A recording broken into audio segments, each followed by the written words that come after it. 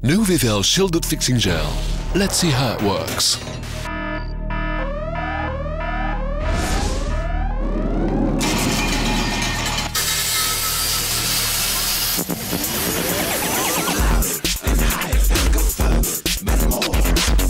Vivel Shielded Fixing Gel.